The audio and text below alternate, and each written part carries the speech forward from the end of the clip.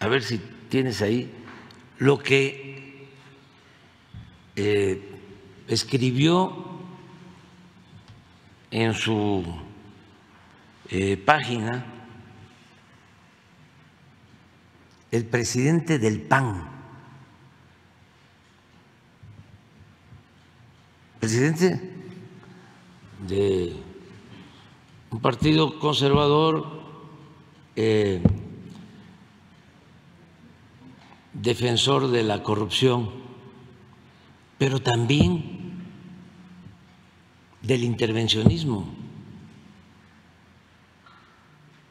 Miren lo que puso el presidente del PAN. Si actuáramos de manera estricta, como ellos este, dicen, en forma hipócrita, de que la ley es la ley, pues eso es un acto antipatriótico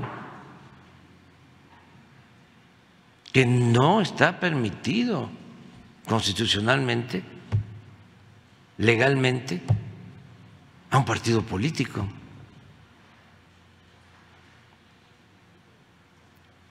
Miren lo que dice, lo voy a leer.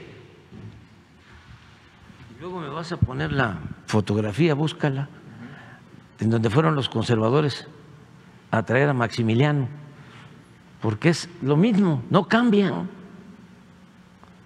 Por eso, cuando tenía yo que definir cómo llamarles, tenía yo la opción de decirles aristócratas, oligarcas, derechistas, y opté por llamarles conservadores. Porque, además de otras cosas, son partidarios de mantener el statu quo, de que nada cambie.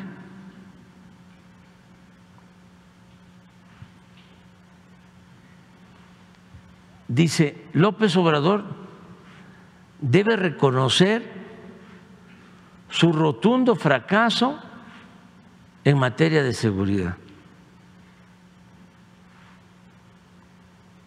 Corregir y retomar la necesaria colaboración con la DEA.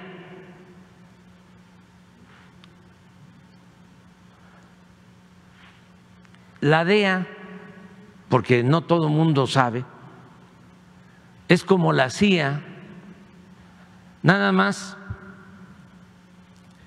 que la DEA es una agencia del gobierno de Estados Unidos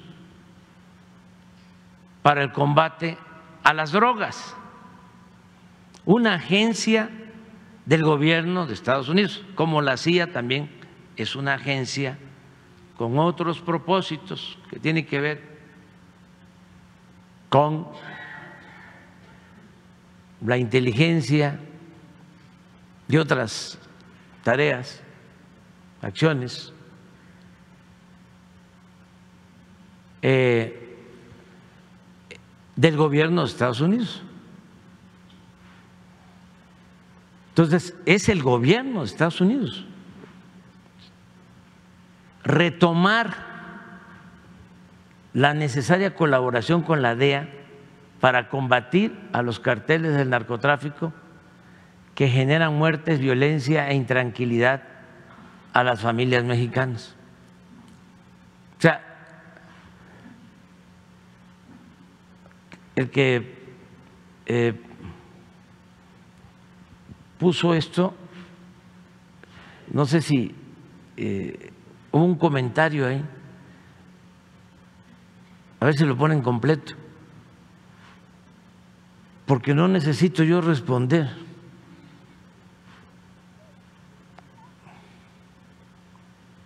Bueno, para empezar, Miren el comentario de este Abraham Mendieta. No se aceptan narcoconsejos.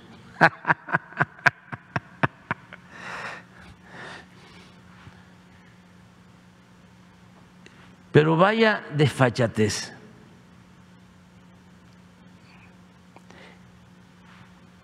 El señor García Luna, que fue de inteligencia, el de la DEA mexicana, con Fox, y luego secretario de Seguridad con Calderón, ha eh, sido juzgado en Estados Unidos y se le declara culpable y tiene que estar mínimo 20 años en la cárcel hasta pena perpetua. Bueno, ese señor posiblemente va a hablar, porque va a buscar que le reduzcan los años de cárcel y va a decir lo que pues es obvio, es de sentido común, de juicio práctico, de que él informaba a sus jefes, a Fox, a Calderón, y que también tenía vinculación con la DEA y trabajaban de manera coordinada, porque con la DEA y con otras agencias de Estados Unidos echaron a andar, por ejemplo, y eso está demostrado, el operativo rápido y furioso. Los gobiernos de Estados Unidos y de México en ese entonces permitieron la entrada de armas al país, armas que supuestamente traían sensores y que iban a ser eh, detectadas cuando llegaran a manos de los narcotraficantes. Imagínense eh, ese plan, esa ocurrencia en un gobierno que estaba completamente infiltrado.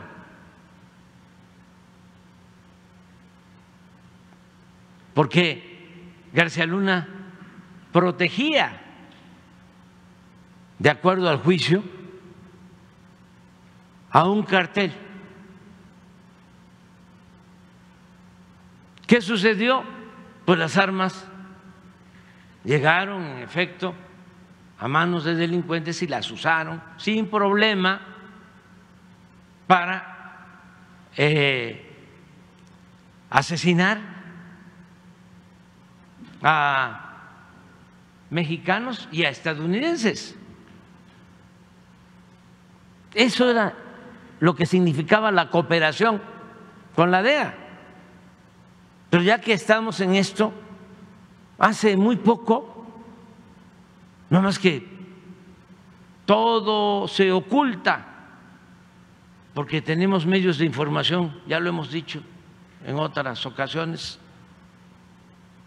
que callan como momias cuando se trata de informar con veracidad y gritan como pregoneros cuando se trata de atacarnos, porque buscamos que esto ya no se repita y que haya justicia y que no haya corrupción y que no haya impunidad.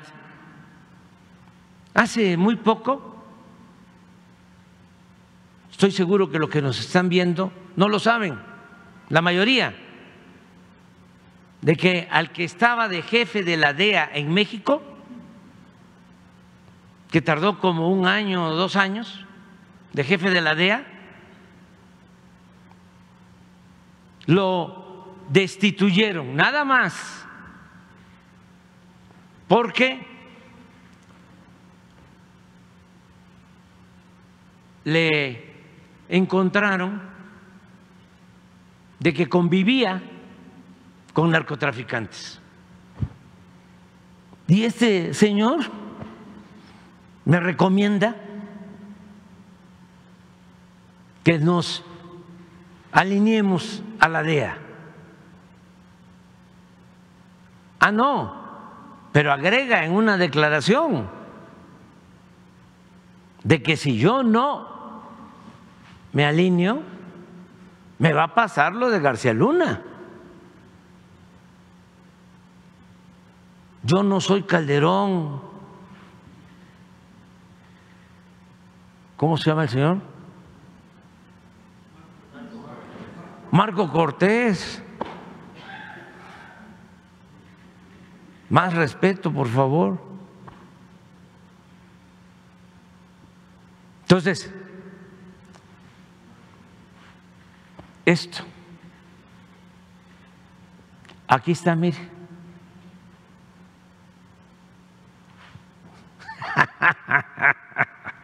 Está muy bueno el cartón.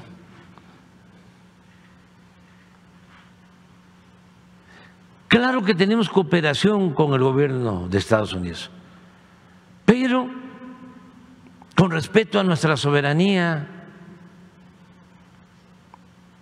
de a partir de la política que hemos definido en México para enfrentar el flagelo de la violencia.